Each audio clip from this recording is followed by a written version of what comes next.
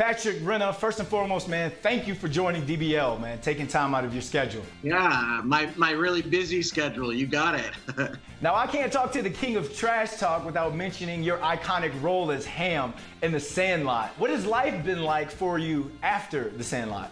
You know, it's been great. It's a wild experience to have been in a movie like that because obviously when we were filming it we we had no idea it was going to turn into what it did so you know I, am humbled and uh, and honestly just like flattered every time I, I meet someone that that loves it so much and it's it's pretty great to be part of something that has meant so much to so many people. Is there any moments during filming that you can kind of bring us in, like behind the scenes, that a memory that you think of constantly? I think we all have great memories of the pool scene, whether we were actually the one kissing the lifeguard like Squints or we just lived vicariously through him as a 13, 12, or 11 year old boy. And uh, you had mentioned that fans show you love when, when they see you out.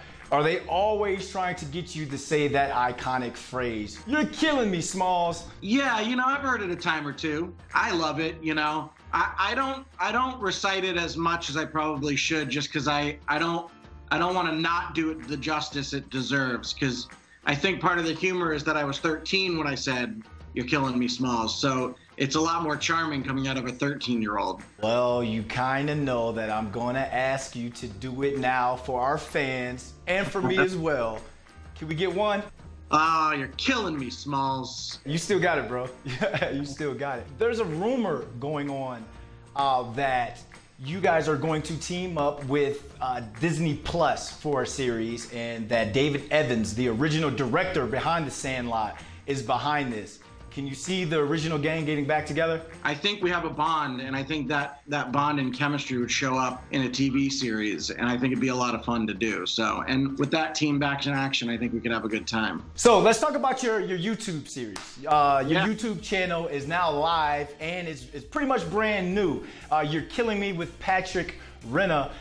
What are some of the things that you were talking about that fans, why should they subscribe? And do you think that you're going to bring the cast of Sandlot back to kind of have a reunion on your YouTube series? I, I'm definitely bringing them back. And uh, I, I have some fun stuff with each of them coming up, uh, Zoom quarantine style. We want to do like a big thing for 4th of July on the channel. And uh, I've reached out to some MLB players because I want, I have one in mind that I really want to host it. So we'll see if he says yes, but I think that would be pretty dope. Hey, Patrick, thank you for joining DBL, man. You're killing me with Patrick Renna is live on YouTube now. Make sure you all go out and subscribe. Once again, thank you for joining DBL, man. Thank you, man. Thanks for uh, brightening up, brightening up my day a little bit.